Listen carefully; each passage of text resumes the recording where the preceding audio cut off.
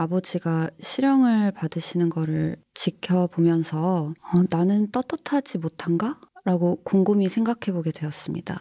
저는 떳떳합니다. 부끄럽지 않게 살았고요. 이제 조국 전 장관의 딸이 아니라 조민으로 당당하게 숨지 않고 살고 싶다. 표창장으로 의사가 될 수는 없습니다. 자질이 충분하다고 들었습니다. 저와 관련된 재판이 끝나기 전에는 제가 가지고 있는 의료 지식을 제 의료 봉사하는 데만 사용하려고 하고 있습니다. 검찰이나 언론이나 정치권에서 저희 가족을 지난 4년 동안 이렇게 다룬 것들을 보면은 정말 가혹했다고 생각합니다. 근데 과연 본인들은 스스로에게 아니면 그들의 가족들에게 똑같은 잣대를 적용하는지 그거는 묻고 싶습니다. 조민, 조국 전 법무부 장관의 딸이다.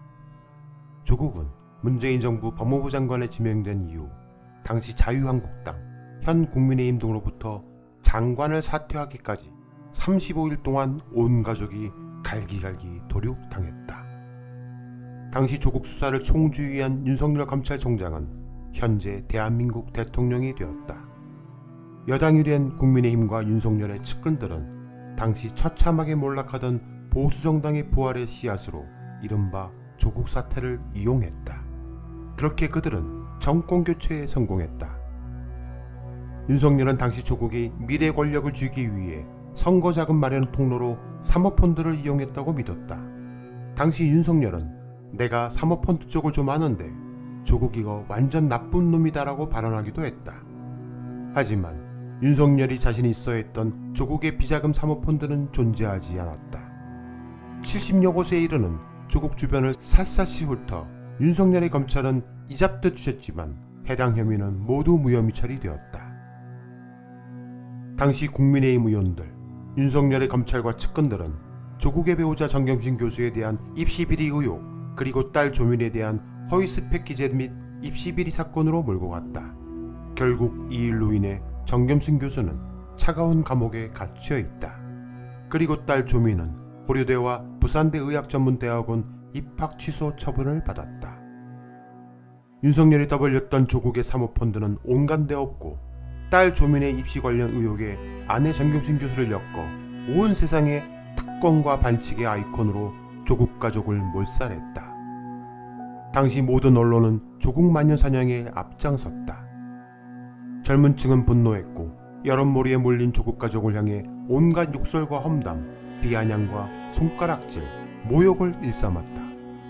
TV조선 기자들이 홀로 거주하는 조민의 오피스텔에 찾아가 초인종벨을 누르고 출입문 손잡이를 수차례 잡아당겼다. 가세현의 강용석 등은 부산대 의학전문대학원에 주차된 포르쉐 차량 사진을 공개하고 조 씨가 빨간색 스포츠카를 타고 다닌다며 허위사실을 유포하며 조민을 부산대 의전원 포르쉐녀라고 부르기도 했다. 그리고 서울중앙지법 서관 앞에서 재판에 출석하는 정겸신 교수를 향해 안대 끼고 운전하지 맙시다라고 큰 소리를 치며 정 교수를 모욕한 자는 윤석열 대통령의 팬클럽 대표를 지낸 바 있는 연모 씨였다. 이렇듯 조국 일가족이 윤석열의 측근들과 국민의힘 의원들로부터 도륙에 가까운 공격을 당한 만큼 죽을 죄를 지었을까? 조국 딸 조민은 최근 유튜브를 시작했다. 채널명 쪼민을 개설하고 자신의 삶과 이야기를 해보려 한다. 조국 법무부 장관 후보 청문회 당시 그를 향해 저주에 가까운 지리를 퍼부었던 인물들이 있다. 그 대표 인물이 윤핵관으로 불리우는 장재원 의원이다. 지금부터 불법과 반칙과 특권으로 딸에게 의사 자격증을 안기로 하는 딸의 가짜 인생을 만든 플랜을 소개하겠습니다. 후보자, 자신 주의랑 돌아보십시오. 과연 법무장관에 오를 자격이 있는 사람인지, 그래서 도대체 뭘 하시겠는지 장재원의 아들 래퍼 노엘로 알려진 장용준은 무면허 운전과 음주 측정 거부, 경찰관 폭행 혐의로 실형이 확정됐다.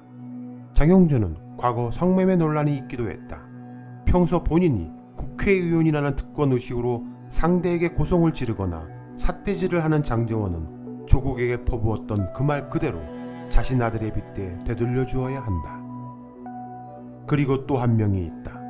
최근 윤석열 대통령이 차기 방송통신위원장으로 내정한 것으로 알려진 MB 정권의 언론 탄압의 선봉장 이동관 대외협력 특보이다.